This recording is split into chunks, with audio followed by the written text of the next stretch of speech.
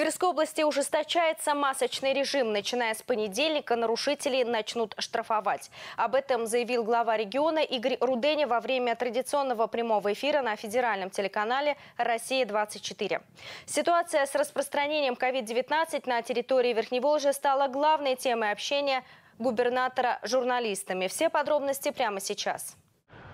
Обязательный масочный режим действует на территории Тверской области вот уже почти месяц. Начиная с 12 октября жители региона обязаны надевать защитные маски при посещении общественных мест и в транспорте. Впрочем, если поначалу данное правило носило скорее рекомендательный характер, то с этого понедельника, 9 ноября, к нарушителям начнут применять финансовые санкции. Об этом в прямом эфире телеканала «Россия-24» заявил губернатор Тверской области Игорь Руденя.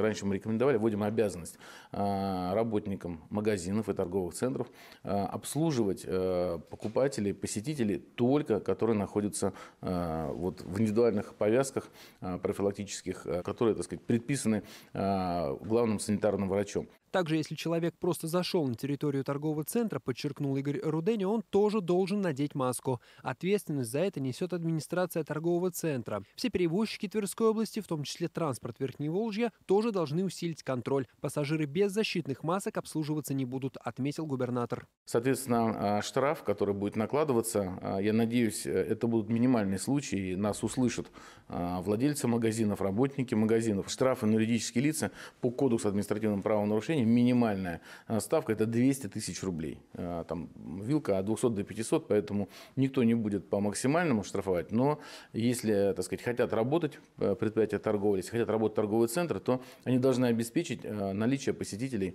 в индивидуальных санитарных масках.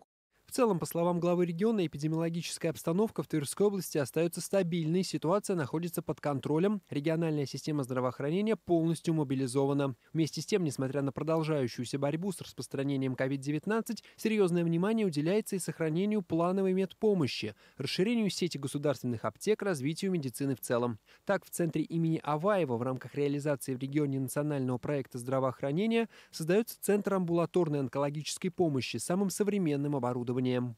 Все происходит в плановом порядке. Мы э, практически восстановили в полном объеме. Конечно, это очень непросто делать, потому что все э, находятся в режимах. Дополнительное время требуется для того, чтобы больной, который приходит на лечение либо на обследование, еще должен сдать тесты. Он должен подтвердить, что он не больной ковидом, чтобы не заразить э, врачей, персонал, который там находится.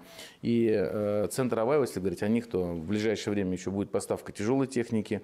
И там стационар развивается. Еще одной темой беседы Игоря Рудени с журналистами федерального телеканала стала работа по благоустройству городов и поселений. В 2021 году в программу благоустройства вошли 21 двор и 60 общественных пространств. В дорожном строительстве один из крупных проектов – строительство хорды между трассами М11 и М9 в Вышневолодском городском округе. Ее устройство обеспечит связь трасс Нева, Россия и Балтия.